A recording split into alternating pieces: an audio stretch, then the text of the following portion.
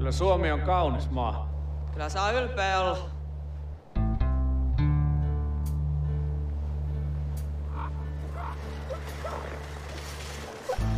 Kaikki oli ennen paljon yksinkertaisempaa. Siinä on mie ja se vastustaja. Ei mitään muuta. Isällä on 500 000 euroa velkaa. Jos et ole sattunut huomaamaan, niin mulla on nykyään perhe. Mulla on työ. Sä oot nyrkkeilijä, sä et pääse koskaan sitä eroon. Mä rakastan sua. Mä tykkään sun perheestä, mutta olette kaikki ihan seinähulluja. Joo, mä tiedän.